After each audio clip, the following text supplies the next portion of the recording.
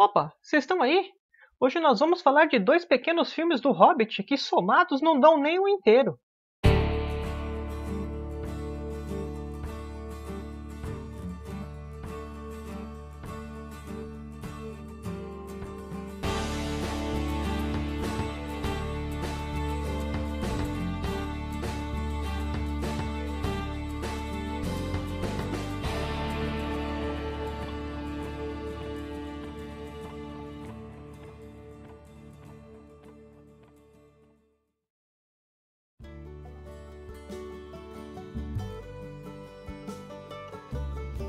Olá, meus queridos e queridas Tolkien Talkers. Meu olho está roxo, mas não é de nenhuma briga que eu entrei não, hein? Eu fiz um procedimento na pálpebra aqui, uma microcirurgia, então eu tô meio com o olho inchado aí, tudo cheio de corte, mas já tô me recuperando isso. Mas antes de começar a falar dos filmes, já peço que manda aquele joinha aqui pra gente, dá aquele like, não deixe de se inscrever também no canal. Do lado do botãozinho de like ali tem o botão se inscrever e do lado tem o sininho, que aí você ativa as notificações para receber e-mails te avisando quando tem TTs novos. Além do meu olho roxo, nós temos duas novidades nesse TT. Primeiro é que eu estou usando ali um painel. Vamos ver se esse painel vai ficar bonitinho ali, o painel parece madeira, né? Vamos ver se vai ficar legal, se, se melhora a iluminação. Eu tô fazendo testes, o TT tá tentando melhorar para vocês, né? Vamos ver se vai dar certo. E agora eu estou com um microfone de lapela, olha só que legal. Então o áudio para vocês deve sair mais, mais bacaninha, mais limpo. Uma coisa que é muito difícil para você gravar vídeo são latidos, buzinas, espirros, gritos, campainhas, passarinho, é, todo tipo, moto, vizinho gritando. E com isso daqui, o áudio chega para vocês limpinho. Ele ignora qualquer outra coisa externa, né? E ainda que eu tenha a barba, ó, esconde, aparece. Olha só, aqui ó, aqui, vocês nem vê, ó. É só, só chegar pra cá que tá, tá escondidinho. Sacou? Pessoal, vamos começar falando pelo Hobbit de 1966. Tá aqui o letreiro desse Hobbit. Nós vamos demorar mais tempo falando da história desse filme do que o filme em si tem de tempo mesmo, de duração. Ele é um curta-metragem de apenas 12 minutos de duração. Ele foi a primeira produção cinematográfica sobre a obra de Tolkien. Eu fiz umas aspas aí porque ele não é nem bem um filme, ele é uma animação com sobreposição de imagens. Eu vou falar mais ou menos como que aconteceu isso. Esse filme foi dirigido por Gini Date em Praga, na capital da antiga Tchecoslováquia, hoje República Tcheca. Mas por que que foi feito lá? É porque esse produtor ele era americano, de Nova York, Manhattan mesmo, só que ele casou com uma tcheca. E aí ele tomou o rumo dele, ele foi lá para antiga Tchecoslováquia e lá ele tinha o, o, estúdio dele. Era muito famoso por ter trabalhado no Popeye e no Tom e Jerry, dentre outras produções, então ele já era bem, bem conhecido. Tanto que esse tipo de letreiro, esse jeitão aqui, vocês devem ter assistido muito desenho na Globo, no SBT, que tinha essa pegada meio a Pantera Cor-de-Rosa, não é? É porque na época era tudo meio parecido tal, e esses caras do meio faziam tudo na mesma pegada. Ele conheceu um produtor chamado William Snyder, William Snyder conseguiu junto do Tolkien Estate, vocês lembram do Tolkien Estate que eu falei lá no, no TT 192 dos direitos autorais? Tem aqui na descrição também, vocês só acompanham. Bom, é, William Snyder conseguiu junto ao Tolkien Estate é, os direitos do, do Hobbit para fazer uma adaptação do Hobbit, só que com um valor super baixo assim, foi uma pechincha na época, porque o Tolkien não era muito conhecido, né, tudo mais. E aí o cara gostou da história e falou, opa, eu acho que eu vou comprar isso aqui. Aí o William Snyder chamou o Gene Date e falou, oh, escreve um roteiro de um longa-metragem, vamos fazer um filme legal, porque essa história é bem bacana tal. O Gene Date ficou mais de um ano trabalhando no roteiro para fazer um longa-metragem. Acontece que ele fez tudo isso, veio para Manhattan e foi mostrar esse roteiro para os grandes estúdios de Hollywood. E ninguém quis. Dias depois que o Gene Date chegou em Praga, o telefone dele toca e é William Snyder falando que o Senhor dos Anéis tinha estourado nos Estados Unidos, que estava bombando e que eles tinham que fazer um filme, o do Hobbit, em apenas 30 dias, porque ia acabar o, o, o contrato dele. E se ele fizesse o filme, ele ia conseguir estender aqueles direitos autorais, ou conseguir vender, né? Então o Gene Date teve que fazer um corte em diversas partes do filme e fazer um filme de 12 minutos, porque no contrato é, di, é dito apenas que eles, tinham, que eles podiam fazer um filme colorido, não falava que tinha que ser longa-metragem nem nada, a única coisa era que tinha que ser um filme colorido até o dia 30 de junho de 1966. William Snyder falou pro Gene Date fazer um corte bem grande, deixar o mínimo possível, 12 minutos, só para que eles pudessem reter os direitos. O filme foi concluído faltando algumas semanas para acabar o, o, contrato. O Gene Date voou de Praga para Manhattan e lá eles fizeram uma coisa incrível. No dia 29 de junho, um dia antes de vencer o contrato, o Snyder conseguiu uma sala de cinema. Ele contratou, pagou uma sala de cinema lá e deu um jeito. Os dois chegaram com o filme na sala de cinema e aí eles têm que mostrar para alguém, né? Porque tem que ser exibido para valer eles saíram na rua perguntando para as pessoas: Oh, você quer assistir um filme legal, bem baratinho? É de um hobbit tal, coisa tal. Acontece que eles conseguiram uma meia dúzia de loucos lá que pagaram acho que 10 centavos, alguma coisa, que era muito. Era ridículo na época, tipo um real hoje, para assistir o filme e fizeram essas pessoas que assistiram assinar um contrato falando: olha, eu assisti esse filme, tal dia, tal hora e paguei tanto por ele. Isso serviu de documento para que os direitos fossem mantidos com o Snyder. E não é que deu certo? Dias depois, o Snyder conseguiu vender os direitos autorais do, da adaptação do Hobbit por 100 mil dólares, que 100 mil dólares é o valor da época, né? Eu não consegui fazer aquela conversão, né? Colocar aquele ajuste de inflação, ou seja, corrigir. Mas 100 é, mil dólares era muito dinheiro para a época. Agora que vocês sabem a doideira que é a história do filme, vamos falar dele em si, né? Aqui eu coloquei duas imagens, uma do Gandalf, né? o Gandalf the Grey, que está totalmente azul, e aqui acreditem, aqui é o Thorin Escudo de Carvalho, que não é um anão. É, não é um anão. Não tem anões nesse filme. Nenhum anão. Eu não conheço muito bem a técnica que eles usaram. Na verdade, eu nem sei se é uma técnica. Basicamente, eles pegaram imagens estáticas e submeteram elas a todo tipo de efeito. Então, assim, aqueles efeitos mais básicos, o cara pegou e fez o seguinte: fez zoom in, que é aquele close, zoom out, que é quando abre, rotacionou, né? Ou seja, girou a imagem, deu 180, deu 360, parecia um negócio de skate mudou as cores do quadro, sabe? Colocar um filtro azul. Esses, por exemplo, que o Sérgio usa quando ele vai fazer leitura, aquele filtro azul, filtro CEP, eles foram mudando os filtros. É, andavam com a imagem para os lados, assim, fazendo passeios. Ou seja, eles pegaram todos esses efeitos basicões e eles usavam separadamente e depois eles começaram a misturar. Foram fazendo uma salada só para esticar o, o, o filme e pelo menos conseguir uma coerência de começo, meio e fim. No final das contas, essa mistura de efeitos aí, né, intercalando um ou outro, acabou dando certo. Fica com uma cara meio cru, mas funcionou. E quanto ao roteiro? Pessoal, o roteiro é uma salada. Como eu disse, não tem um anão, zero anões. O Gandalf é meio azul, o Thorin não é anão também, e, tá, e, tem uma princesa perdida ali no meio. A cidade de Vale tem coração para tudo quanto é lado. Sabe o castelo da princesa Peach do Super Mario? Que tem é, frufru, tipo umas nuvenzinhas, castelo, coisa fofinha para todo lado. A cidade de Vale tá naquela pegada lá. Tem coração até dizer chega. E tem até uma profecia incluindo um hobbit. E aqui a gente tem um hobbit, ó. Esse aqui é o Bilbo. Olha só. E aqui o Bilbo está lendo um livro, Hobbit and Garden. É, o Bilbo é um cara que gosta de jardinagem, de cuidar das plantinhas dele. O Bilbo eu gosto bastante, tem aqui uma coleção de borboletas dele, os pés peludos. Então, o Hobbit, sim, o Bilbo é bem bacana, eu gostei dele.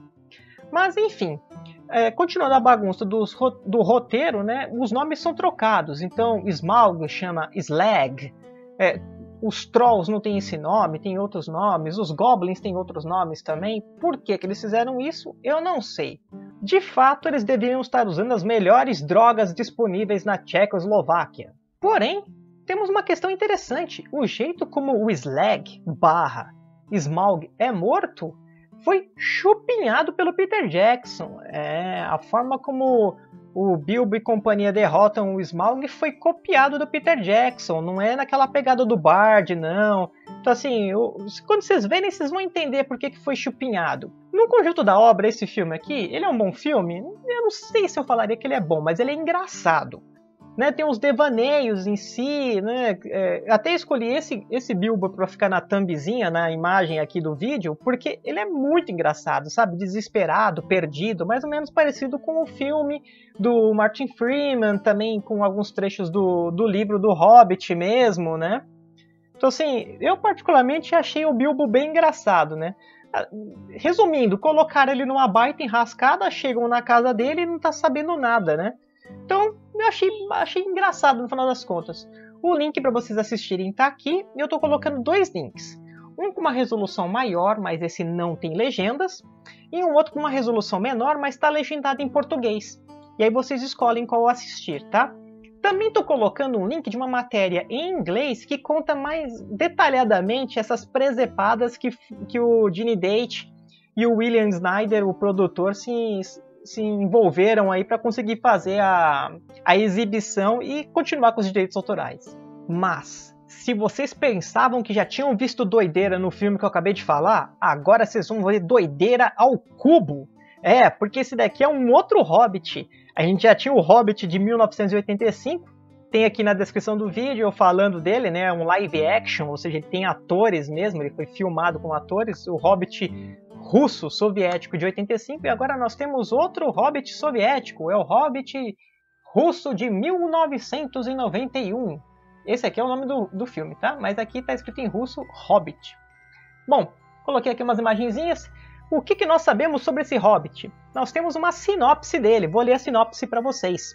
Em 1991, na União Soviética, a empresa Argus começou a filmar o desenho animado Treasures Under the Mountain, ou seja, Tesouros sobre a Montanha, com Nikolai Karastentov como Gandalf.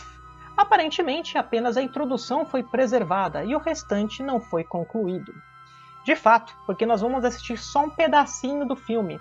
É como se fosse o primeiro capítulo, só que aí você não tem o restante, o que é uma pena, porque esse filme é muito legal. Sobre o filme, o filme só tem 6 minutos e 9 segundos, é muito curtinho, mas eu pirei nele, é muito legal e tem um monte de referência. É, ele é uma animação que mistura diversas técnicas, bem diferente do de 1966, né? Aqui não, aqui você vê uma série de técnicas é, que além daqueles desenhos sequenciais, né, que, é, que, você faz vários desenhos e pega no bloquinho, vai passando blo o bloquinho assim, né, e o personagem vai mexendo. Além dessa técnica, você tem uma sobreposição de elementos que eles dão uma profundidade, é super realista. Nessa profundidade dá uma sensação 3D. Acredite, em 1991 já dava essa sensação 3D, é, é muito bacana. Na cidade de Vale, ou mesmo quando o Smaug vai atacar a cidade, né? E tem esses elementos, essa sensação fica muito evidente. Vocês vão gostar, ele dá, dá uma coisa imersiva no filme. Eu diria mais, além de imersivo, ele dá um tom artístico. Parece que realmente é uma pintura se movendo. Eu, eu gostei demais. Aqui vemos uma série de coisas que o Peter Jackson chupinhou na cara dura. Uma delas é, assim, é evidente. O começo do, do, dessa animação tem uns sinos. Olha aí os sinos. Olha só. Aqui é o personagem tocando vários sinos. E logo no comecinho do Hobbit nós temos esses sinos, né?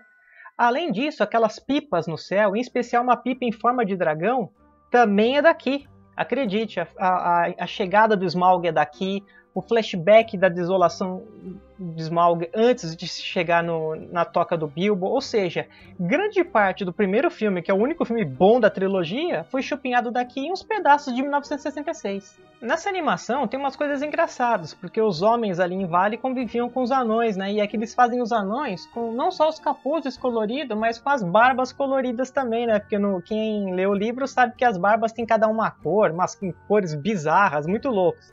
Mas eu gostei, achei que para uma animação ele combinou, ele ficou bem É, existe essa, esse passeio por vale que também lembra a questão do Peter Jackson, então aí continua o, o eco né, dessa animação na criação do Peter Jackson, mas tem uma cena extremamente bizarra. É, tem uma mesa que os anões e os homens estão bêbados, brindando, tomando umas coisas, sabe? De repente um homem e um anão se beijam na boca, dão um selinho. Aí eu falei assim, nossa, isso tá com cara de easter egg, né? Aquelas coisas que o produtor faz para sacanear, tipo, tem uma bagunça no meio do cenário, meio onde está, onde está o Oli, e eles colocam alguma coisa ali só pra sacanear pra ver se alguém pesca, né? É, uma série, um anime que tinha do Street Fighter, que passava na SBT, tinha muito disso, assim, você passava no aeroporto, de repente tinha o Akuma lá, com os braços cruzados, assim, não sei se vocês lembram disso daí. Mas eu achei que era isso. É, na verdade não era isso não, porque de repente você segue essa mesa, todos os homens e anões estão dando selinhos. Muito louco. Bom, russos fazendo russice. É, o filme não tem legendas, então ele é em russo mesmo. Mas não precisa. Ah, meu, mas eu vou assistir um negócio em russo. Gente, o, a narração é tão boa que mesmo em russo você entra na, na história. Ele tem um timbre grave, soturno, assim. Muito bom, vocês vão gostar. A gente tem que abrir um pouco a mente também, né? É, música, narração, é tudo sonoridade, é sensação. É igual música. A gente não escuta música em espanhol, música em inglês? Por que, que não pode escutar em italiano, polonês, japonês, javanês, russo, né? É, é a sensação. Então é, é, o mesmo procedimento que acontece com a música. A música clássica, por exemplo, é uma música universal, é uma língua universal. Então, mesmo não tendo legendas, tentem assistir que vocês vão gostar. Uma coisa que deixa essa narração ainda melhor é que ela é seguida de diversos efeitos sonoros. Então você está escutando de repente entre uns barulhinhos, entre umas outras coisas assim. Do nada, começa a entrar uma música no andamento de 3x4, que é aquele andamento de valsa, sabe? 1, 2, 3, 1, 2, 3, 1, 2, 3. Aquele andamento de valsa bonito pra caramba. Começa a entrar um violino e a narração vira quase um poema música. Então, ele, ora ele é falado, ora ele é declamado, ele é cantado, fica bem melodioso assim. E você vai sendo transportado para dentro da história. É, é muito interessante. O violino, inclusive, faz uma dobra da voz. Quem assistiu a análise da trilha sonora que eu fiz da, das duas torres, eu falo da Gollum Song. Então, se quiser assistir, tem aqui o link do TT da, da trilha sonora das duas torres, vocês vão entender que é uma dobra. Quando volta do flashback da desolação de Smaug, a gente cai numa transição para um mapa. Aliás, eles fazem muitas transições de mapa. No começo é uma vela com um mapa, aí você entra dentro do mapa. Quando passa a história aqui, saem do mapa e vão para para a grande mesa de reunião do Gandalf com os anões. Então eles usam muito bem esse efeito de, de transição para mapas, né? E aí a gente vê novamente a, a companhia do Thorin Escudo de Carvalho com os capuzes e as barbas bem coloridas. Numa das partes desse flashback, a gente tem que estar nevando em Vale, na desolação de Smaug. Mais um elemento que o Peter Jackson pegou, porque nós sabemos que no livro não há citação alguma de neve. Bom, no final das contas, quando você está pirando, entrando naquele clima do filme, ele acaba. É, fica com, aquele, com aquela sensação, com aquele gostinho de quero mais, né? Uma pena que acaba rápido. Na conclusão, eu posso falar o seguinte: somados eles não dão 20 minutos. Então assista você aí, os dois, e tire suas conclusões. Mas eu me diverti bastante. Eles são bem engraçados, tem, uma, tem alguns pontos positivos. O de 1966 pelos absurdos e pelo Bilbo engraçado, e o de soviético pelo ponto de vista artístico. Conforme as questões da série da Amazon foram chegando, é legal que nós tenhamos aqui no TT todas as referências de adaptação, porque aí a gente pode usar ele como ponto de partida. Esses daqui são importantes para a gente analisar o Hobbit. O Hobbit é importante para a gente ver essa juventude do Aragorn agora, que saiu na Amazon, né, que vai ser sobre isso, o começo. E era, uma, era algo que o Peter Jackson deveria ter usado e poderia, tem direitos autorais para isso. Então é legal porque isso vai servir de, de pano de fundo para a gente começar a falar sobre a série no futuro. Espero que vocês tenham gostado dessa análise, assistam, comentem aqui embaixo. O comentário de vocês é o nosso combustível, né? Então, se você não curtiu o vídeo, dá aquele like, se inscreve, ativa as notificações e comente. Deixa seu recadinho aqui pra gente, fala o que, que você achou, se você concorda, se não concorda. Você pode comprar seus livros pela, na amazon.com.br sem custo adicional algum. Se o livro que você quer não tem no link aqui embaixo, que tem vários links aqui embaixo dos livros de Tolkien, é só você pedir pelo inbox do TT lá no Facebook que a gente faz o link para você. Inclusive tem a pré-venda do livro O Dom da Amizade, hein? Tá aqui também, ó, primeira publicação da HarperCollins Brasil sobre Tolkien. Acho que vocês vão gostar, porque tá bonito. A terceira forma de você ajudar é sendo um padrinho ou uma madrinha do TT. O link está aqui embaixo. Você escolhe se quer doar um pouquinho, um poucão, um muitinho ou muitão mensal, avulso, você escolhe, fica livre, qualquer ajuda é bem-vinda. Pessoal, essa, esse microfone, a iluminação, a câmera nova, o painel, tudo isso é 100% de vocês. Cada livro que é comprado, não importa o valor do livro, a cada valor que é colocado no padrinho, tudo isso está sendo revertido 100% para o canal a gente agradece muito. Quero agradecer em especial, deixa eu ler aqui, ao Guilherme de Jesus, ao Tiago Dias Araújo Espolador, espero que eu tenha falado certo seu nome, Tiago, ao Lucas Machado, deve ser meu primo, e Guilherme Gomes Afonso. Meninos, muito obrigado por serem padrinhos e ajudarem o TT. Então é isso, pessoal. Todos os links para assistirem os filmes e as matérias estão aqui na descrição. Espero que vocês gostem do conteúdo, falem aqui nos comentários. Espero que tenham gostado desse TT. Um grande abraço. Na Marie. Não deixe de seguir também as fanpages parceiras do TT o Gandalf, o terror das novinhas, Nerd Geek Feelings, Nerdonautas, o Hobbit e o Senhor dos Anéis, e o Senhor dos Anéis, a Sociedade do Anel. Todos os links estão na descrição do vídeo.